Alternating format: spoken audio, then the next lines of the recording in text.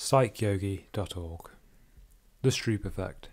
An effect whereby experienced readers find it challenging to ignore the printed word and instead name the colour of the ink. Reaction times will be slower with words referring to colours than with other words or symbols. For example, try to name the colour of the ink and not the word. You'll find this far easier with the top row than with the bottom row. The effect was named after John Ridley Stroop.